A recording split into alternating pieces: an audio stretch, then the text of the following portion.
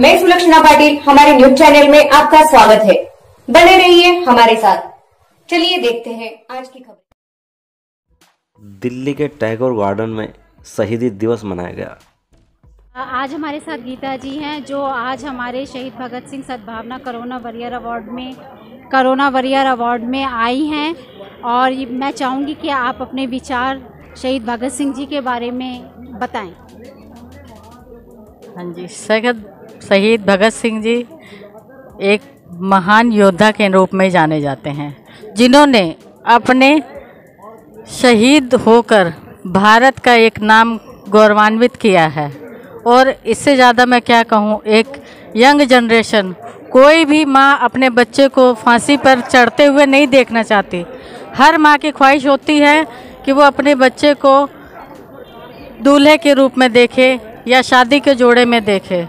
एक जवान बच्चे का इस तरह से जाना और इस शहीद दिवस को हम किस रूप में, शहादत के दिवस के रूप में मनाए जा रहे हैं, जिसका कि हम अभिमान करें या गौर, गर्व करें, ऐसे शहीद भगत सिंह को मेरा सशत नमन है। हिंदुस्तान, जिंदाबाद, जय भारत। हमारे बीच में दिल्ली महिला यूनिटी से अंजू शर्मा जी हैं और मैं चाहूँगी कि आप भी दो शब्द कहें।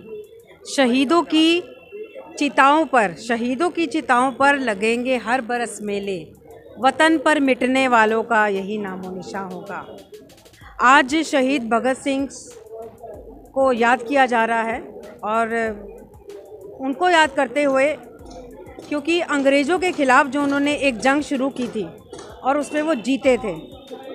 और एक नारा दिया था, इनकलाब जिंदाबाद। ये अपने बच्चों को कहानी सुनाएँ, बताएँ और उनके जीवन से प्रेरित होकर बच्चे वैसा ही, क्योंकि आजकल जो देश की सिचुएशन है, भ्रष्टाचार फैल रहा है तो कहीं ना कहीं हमने जो आज़ादी मांग कर ली थी, जो आज़ादी के लिए हमने लड़ाई लड़ी थी, कितनी हमने शहादतें दी तो इस दिन के लिए नहीं। आज का जो शहीद भगत सिंह है, उसको देखना पड़ेगा कि भ्रष्टाचार को किस तरह से ख़त्म करना है।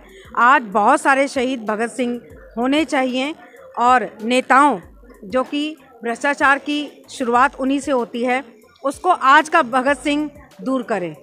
और शहीद भगत सिंह को याद करते हुए मैं यही कहूँगी कि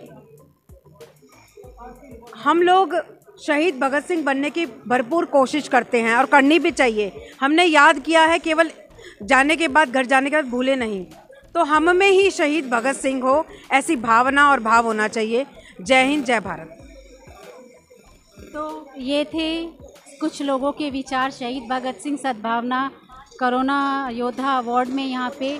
और यहाँ पर ये जो फ़ंक्शन हो रहा है, बहुत ही अच्छे अच्छे एनजीओ से और बहुत सारे एनजीओ से लोग जुड़ रहे हैं। बहुत ही हमारे मान्य अतिथिगण आ रहे हैं सम्मान पा रहे हैं और सम्मान यहाँ पर सभी नारी शक्ति को भी दिया जा रहा है। मेरा सम्मान है कि मैं इस प्रोग्राम में आई क्योंकि भगत जी से भगत सिंह जी को श्रद्धांजलि देना एक बहुत बड़ी बात है। इतना बड़ा देशभक्त मैंने नहीं देखा और मैं दो लाइनें ही आपको दूँगी उनके लिए जो मैं उनके सम्मान में उनको श्रद्धांजलि के रूप में देना चाहती हूँ।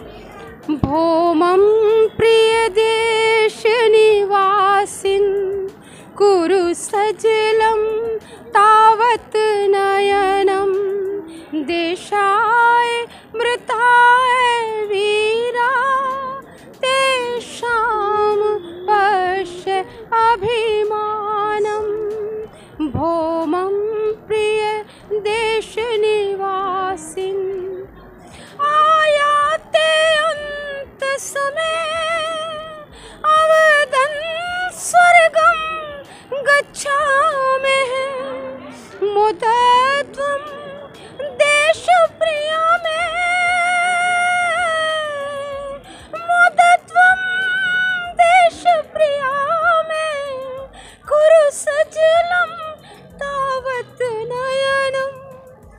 सजलम तावत नयनम नयनं प्रिय देश निवासिन कुरु सजलम तावत नयनम देशाय मृताय वीरा, तेषां पश्य अभिमानम मैं उनको नमन करती हूँ।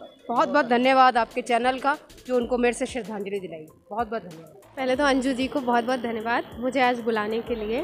और आज बहुत ही बड़ा दिन है, और इस बड़े दिन पे आज मुझे अंजू जी ने यहाँ इनवाइट किया। इससे बड़ा सौभाग्य मेरे लिए कुछ नहीं है। एंड दूसरी चीज़, मैं मेड टू इंडिया एक कंपनी को लेके आ रही हूँ, जो भारत की चीज़ों को प्रमोट करेगा। और एक दूसरे देशों तक उस ब्रांड को हम अपने भारत के ब्रांड को पहुंचाएँगे ऊंचाइयों तक तो पहुंचाएँगे। हमारे बीच में है सतीश गर्ग जी आम आदमी पार्टी से। मैं चाहूँगी सतीश जी आज आप अपने विचार बताएँ आज आप शहीद भगत सिंह आज का दिन बहुत विशेष दिन है और आज का दिन जो है हम हमारी सरकार को मनाना चाहिए। अभी जो है आम आदमी पार्टी की सरकार ने अगले साल से जो है इस दिन को जो है शहीदी दिवस के रूप में मनाने का ऐलान किया है और छुट्टी घोषित की है आज के दिन। और और हम सभी लोगों को इसको मनाना चाहिए और याद करना चाहिए अपने शहीदों को जिन्होंने हमें देश को आज़ाद कराया।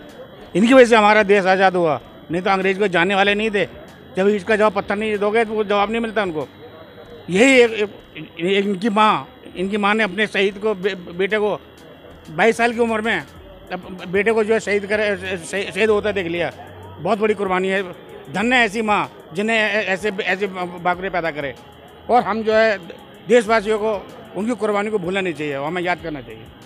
जी धन्यवाद सतीश जी। ये डेंटिस्ट हैं और इन्होंने अपनी बहुत अच्छी सेवाएँ दी है। घर घर जाके सेवाएँ अपनी इन्होंने प्रदान की हैं कोरोना काल में। मैं चाहूँगी ईरा जी आप दो शब्द कहें आज के प्रोग्राम के बारे में। शहीद भगत सिंह जी के बारे में। हाँ। मैं इरा हूँ डॉक्टर इरा एक्चुअली ये जो प्रोग्राम है बेसिकली आप, जब आप किसी के लिए कुछ करते हो that is more worth than doing for yourself तो हमें दूसरों के लिए काम आने के बाद पता चलता है कि हमारा जो इंटरनल पीस है, वो कितना सेटिस्फाई हो गया है। और जो शहीद भगत सिंह जी ने किया है, वो सिर्फ़ अपने लिए ही नहीं, पूरे भारत के लिए किया है।